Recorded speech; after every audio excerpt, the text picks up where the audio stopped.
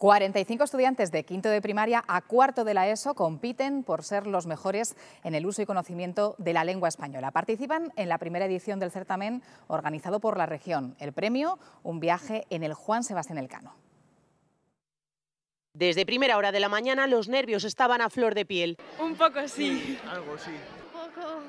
Sí, obviamente. 45 alumnos de 15 centros educativos de la Comunidad de Madrid. Todos ellos se han enfrentado en la última fase de esta competición lingüística que se ha centrado en la temática de Juan Sebastián Elcano, primera vuelta al mundo. Porque aquí ya están, por así decirlo, los mejores, ¿no? En la fase anterior, la semifinal, pues estaban, había más centros, aquí han pasado ya los, los elegidos. Una vez hecho el examen, Las primeras pruebas nos han ido de maravilla, luego ha habido una que se nos ha resistido un poquito más, pero, pero bien, bastante bien.